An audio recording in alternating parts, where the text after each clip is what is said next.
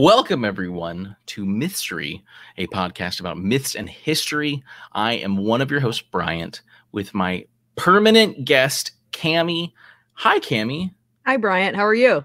I am fantastic. I'm celebrating the last days of Saturnalia. Mythstorie is a show where we like to pick topics from legends to epics to ancient Roman Christmas. And we actually, today's topic is uh, we're going to be talking about Spartacus.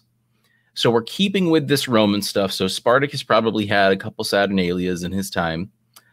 And we actually just uh, did, we had this topic on a live stream that we did for a nice, uh, an amazing experience convention, an online podcast convention, or, or I guess you'd say online content creator convention um, called Indie Pods United. And they have their own YouTube channel and Facebook group.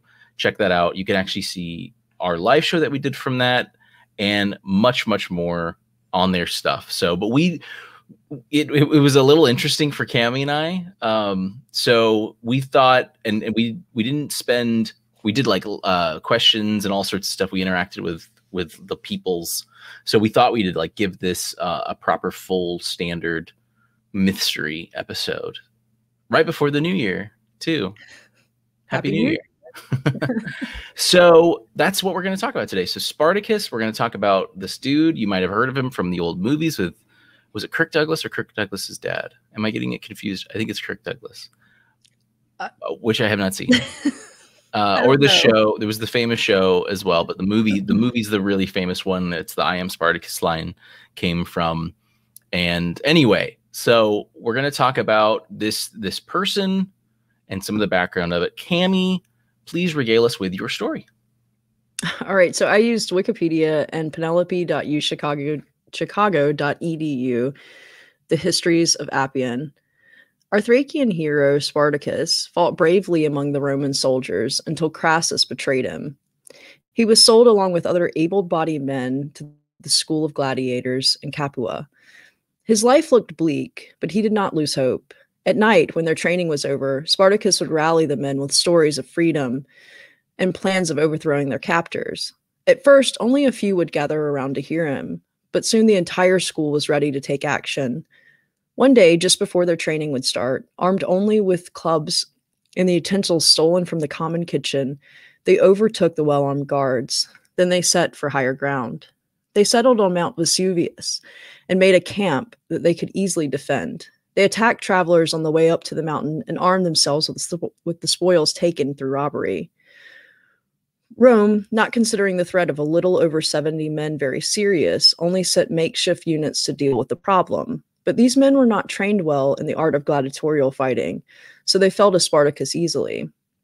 The Republic then sent Varinius on his prized horse along with his men to return the slaves to the school. But Spartacus captured his horse and almost the man himself. As news spread through the Appian Way, many deserted their positions in life as slaves or freed farmers and took up arms with the great leader. 70 men became 70,000. Now Rome and the council were fearful of this great man. They sent two legions to defeat him, but Spartacus escaped with most of his men. He would crucify any Roman soldier he came across to warn his men of the fate that awaited them if they did not win every battle. With still more legions at his back, Spartacus left any livestock and possessions he won from fighting and refused to gather more men on his way to Paecium. While there, he again hastily dispatched the legions waiting for him. Three years had passed, and Spartacus had amassed a wealth of weapons that would easily rival that of Rome. But Rome had a weapon in the old enemy of Spartacus. Crassus formed, a, formed six legions and slaughtered any man among them who did not see he did not see fit to win against the gladiator. Fearing Crassus more than the enemy, the remaining men fought bravely in the times of battle and defeated many of Spartacus's army. Crassus then heard of the news of Pompey's return from Spain, and the council had agreed to send the young general to fight alongside Crassus, who was now in Sicily.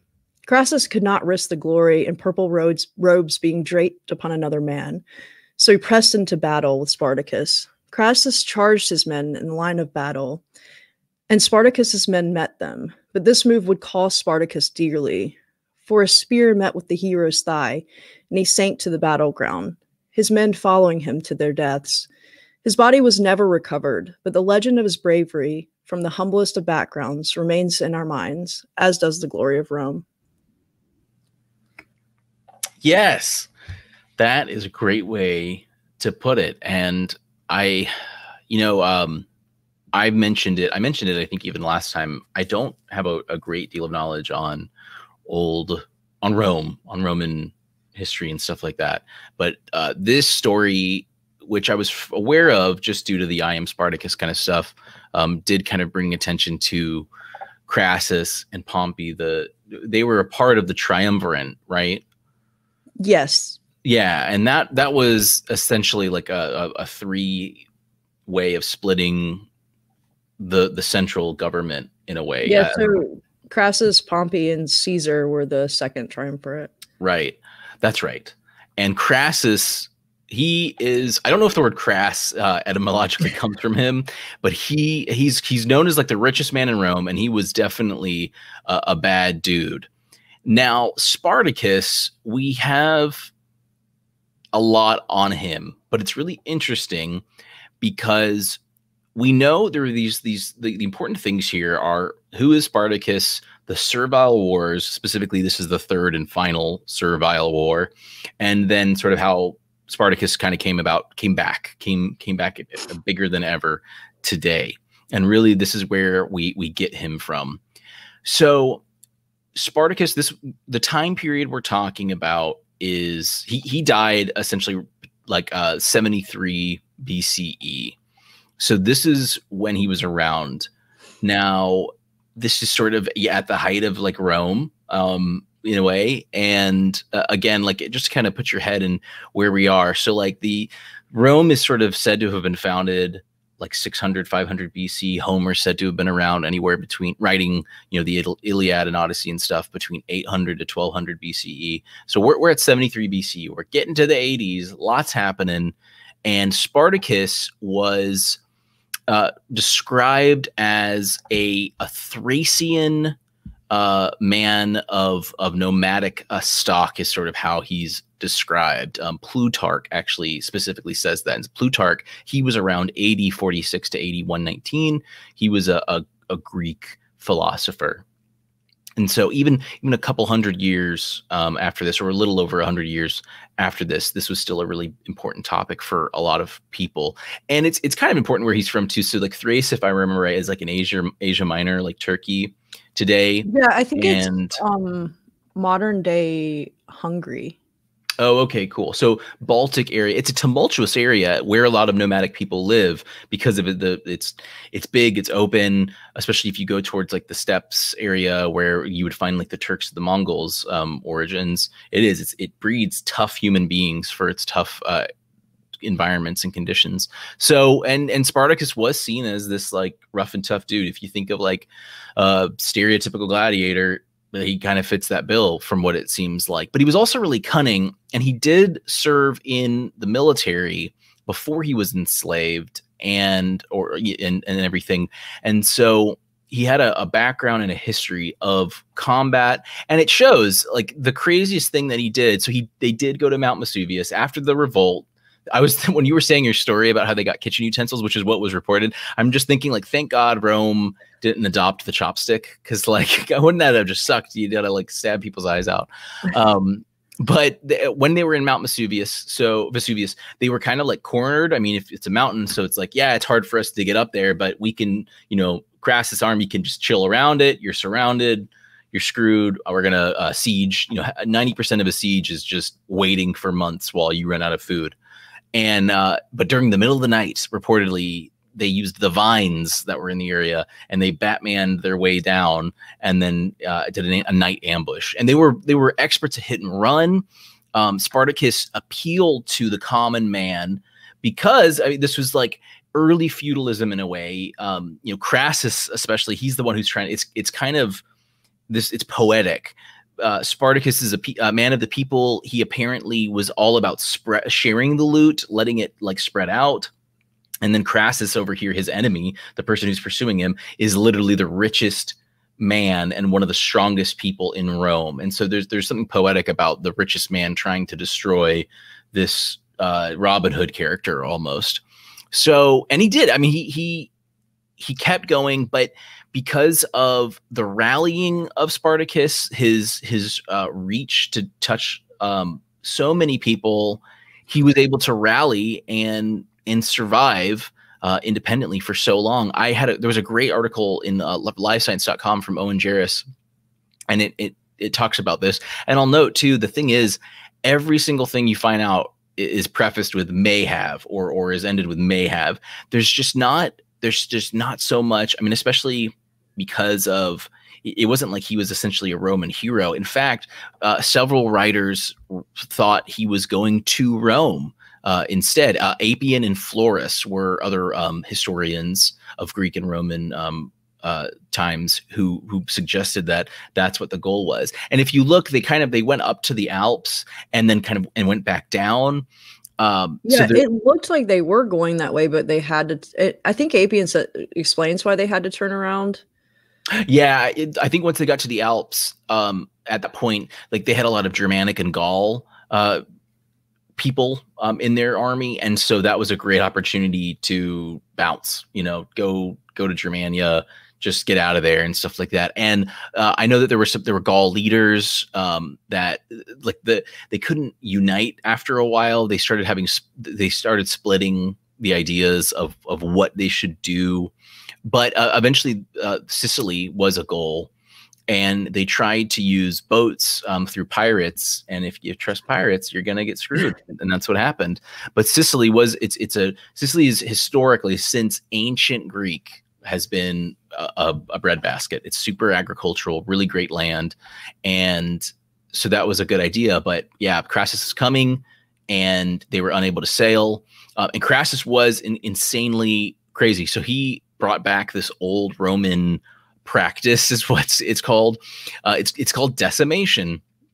You know, uh, dec- like ten um, deca uh, so where units that ran away from the enemy would draw lots and have a number of soldiers killed by being clubbed or stoned to death. So you would have like lots and then every 10 and, and it was just kind of crazy. I think so like, that's where our modern day word comes from. Right. Yeah. That's that's to decimate you like decimate means to destroy in a way. And right. that's that's what it does. It destroys your fear of um or your ability to leave the to, to run um, the army. So anyway, uh after heavy losses, Spartacus' forces split, defeated. Um, he attacked Crassus anyway. Um, Plutarch uh, describes that Spartacus uh, got off of his horse before the final battle, killed his horse, and told his men that if he won the battle, he would have uh, so many fine horses it didn't matter. But if he lost, he doesn't need a horse. So it was kind of good. I mean, I, I remember reading history books uh, a lot of the times, especially when you'd have um, i think it was during the crusades it, one of the crusades they like sailed over landed um, on the other side of the mediterranean and then burned boats. And they're like we're doing this. We're not we're not going back home. So anyway uh it the the servile wars are the next like big topic here and they were really important. And in fact there's a whole uh, section on Wikipedia called "Slavery in Ancient Rome," and it's it's really interesting because there is, you know, Rome, anyone could be Roman. Like that was one kind of benefit to Rome for the most part was after a while, you just kind of got absorbed into the cultural orbit. And sometimes your cultures kind of your your your own practices, your indigenous practices came over, but the Roman stuff really took over because of how how potent Roman culture was and how just the way the the the the the empire worked. It, it just made sense. And servitude. Like that's why, what we try to do in America Sure. Yeah. Yeah. It's it's a it's a it's it's like don't beat them, join them. Like you know, you you Rome will be as big as anyone who says I'm Roman now will let them. You know, that's the best way to expand your empire. Is you've already got people there, just make them make them Roman. And it, it's it's it's been a long time thing. I mean, Alexander the Great was known for marrying his generals to Persian um, uh, to, to Persian like families once he took over and things like that, and, and Indian, and as he went through. I mean, that's that's the easiest and quickest way to expand your empire. Just take the people that are there and make them what, make them look at you and say, "I'm you," you know. And that was a big thing for Rome, and and servitude was a huge thing. Uh, it, it was very important to the culture and the economy. It like it wasn't ethnic, but it was regional, and it was there was a ton of people. There were there were it, was a super populated area, and uh, again, like this, we got to this boiling point. It, well, it looks like several times with the Servile Wars and the third Servile War just sort of was the one of the more successful ones. None of them went specifically um, successful, but I guess just through time and through the manpower that he had, uh, just just did it. Um, I have a little thing actually. So yeah, the first Servile War was 135 to 132 BC, so it didn't last very long at all. I mean, they all didn't last too long, two to four years. Uh, it, this was specifically in Sicily, uh, led by Eunus, a former slave uh, claiming to be a prophet. Um, the second one was 104 to 100, so 30 years later, also in Sicily, led by uh, these two dudes. And then the third Servile War was the mainland, led by Spartacus. Um, no evidence. This is one interesting thing that I did clip from the Wikipedia articles. That's where I got my Servile War information. Is it mentions that there was no evidence to truly reform and remove slavery and so that's that's one other interesting point to think about was this wasn't necessarily about stopping the practice it was just about escaping their fate of the practice and it was extremely unfair i mean the I, I, don't know you could debate the fairness of it all but i imagine you know you you you have some some small city state that's rebelling in uh, Asia Minor, you pound them, you take them. I mean that, that, and then you sell them into slavery markets. You make them work for you. I mean, it, it makes sense that, especially as Rome began, it makes sense the idea. And we just talked about Saturnalia being one of the most important festivals because it it it decreased those social norms. The the servants and slaves. Well, I, don't, I didn't really mention too much on slaves, but the servants could they had freedom. They they weren't as bound to the moral uh, problems. They could go gamble. They could wear different clothing that they normally couldn't wear and stuff like that. So I, I just want to point out because there's so much there. I want to point out how important servitude and slavery was, and it, it was it was a very essential, different part of their culture. I don't think it's something that we can think of when we think of it today. It, it, it's a little different back then. Um, and, and, and I that I will mention. Uh, a lot of times the Romans like to take Greek slaves because they were so well educated, so they could teach their children sure. Greek and and Latin even. Yeah, that's a really great point. Yeah, that is. Um, so the last thing really here is today. Uh, Spartacus became, I mean, very specifically, Karl Marx is is really a, a big reason why he he is as relevant as ever. And it's because Karl Marx listed him as the most, I'm going to quote here, the most splendid fellow in whole in the whole of ancient history and a great general noble character and real representative of the ancient proletariat. So that's a pretty nice standing. And it, it's it's really interesting though. Throughout time, I mean, you know, these texts would get discovered and rediscovered, especially through the 12th century into the Renaissance. We started relearning these characters uh, rebirth. That's what the renaissance was all about was this rebirth of all of these ancient things. It's like we already knew this we just forgot it. And so i'm sure that helps kind of keep these things going. And a lot of these things you know they're they're just footnotes in the history of rome. The servile wars two to four years, they're important enough to say, oh, yeah, this is when the Servile War happened and this is what happened. And Spartacus is just interesting enough because he was very successful for uh, a period of time that he he did do it. Probably it seems like it was the most successful of the Servile Wars, and it just kind of petered out um, at the end there. But uh, because of Karl Marx and and his comments, it really and, and it makes sense. It, it, he's a huge icon for communists and socialists. Um, he's a hero. He's he's a myth essentially.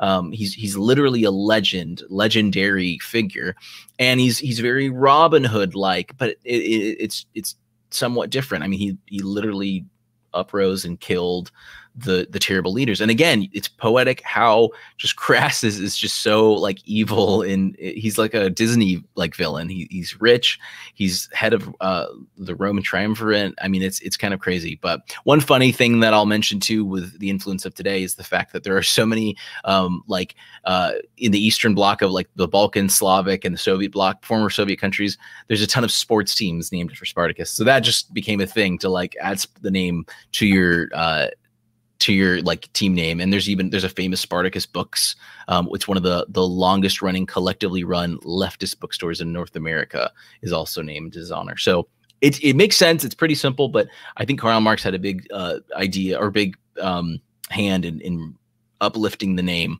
And then, of course, in 1960, the film Spartacus, uh, Kirk Douglas, that's what it was. Um, it was based off of a novel, Spartacus, by Howard Fast. And this became a, a huge success. It kind of helped uh, the the what do they call it the sword and sandal culture that's the kind of the genre of that it, it helped play into that and gave us an idea it helped form the modern idea of how we view Rome. It helped inspire movies like 300, which then took it a little further in in both a fantasy but also a realistic kind of aspect. Um, my favorite film, I did not see Spartacus. I did not watch the show really. I watched a little bit when it first kind of started, but was uh, Russell Crowe in Gladiator. Um, so good. Yes, it was really good, and there it had its own problems, but I think it did a great job of um, sort of fixing a lot of the problems that that genre has. The it it it it did. I remember like Wait, was that on, supposed to be based on Spartacus? It was a, a, thousand percent inspired by it. It was based on actually okay because it was set later, like much later, right? Yeah, yeah, it was. Yeah, uh, Marcus Aurelius and his uh, dummy son that Joaquin Phoenix played. Um, oh God, oh, it starts with the C, doesn't it? Oh boy, I watched that movie like a hundred times. He was the it was Marcus Aurelius' son, um, and he names Russell Crowe's character uh, the the Marcus Aurelius because he's old and he's dying, and um, names Russell Crowe's character as emperor before he dies, but his son, um, Com- Commodus. There we oh, go. Yeah, oh, Commodus, okay. who was With a real lion. He always wore that lion co- or lion pelt or he, whatever, but he, he never was, did anything. Yeah, he was like, I'm actually Hercules's you know great nephew um i'm gonna go get drunk yeah he he ran it to the ground but it's just and it, so it's it's a cool like nonfiction but lots of fiction or it's a cool fictional story with lots of nonfiction built in. They did have a lot of problems um they had like siege equipment in the woods and the germanic tribes looked like they were straight out of like the bronze age um like they you know it, they they took some liberties but there was a lot there that was really cool and and one like the um the owner of Russell Crowe's character, he was like a former gladiator slave who got his freedom. I like that. I think it does a good job of showing like the economy and the cultural side of it, and it's really cool. It, lots of blood and gore, um, and and stuff like that. So it it was it was a really cool film, and it I think it helped um, usher in sort of the age of films starting to go on the more realistic side instead of on the corny, fake fantasy side of it. So it had some issues, but overall, I think it was really um, really nice way to go. And I would recommend watching it. My mother loves the Spartacus show. I'm sure it did a good job. I don't know how accurate it was, but it, it probably would have had a lot of great content. I mean, that it there's a clear beginning and end. I hate shows that go on and on, but there's a clear beginning and end. And there's some interesting characters. There's lots of great Roman figures that you can see and, and hear. But anyway, uh, I would highly recommend checking out Gladiator. Gladiator. I, I watched it. It's been too long since I watched it. When I was a kid, I would watch it almost every day during the summer, like in the afternoon with my sister and my dad, and we would just watch it over and over and over again. So I I've I need to watch it again because I used to watch the the movie The Patriot with Mel Gibson, and I rewatched that, and it's terrible. So when I rewatched it, I I, I do want to say, yeah. uh, I misspoke earlier. It was the first triumvirate. The second triumvirate oh, okay. was uh, Octavian, uh, Mark Anthony, Anthony, and Lepidus? F, minus. Maybe. Yeah, I know. So I do want to say yeah, that. I, but there's no, a wonderful um show that I believe either H it must have been HBO because I can see it on Hulu.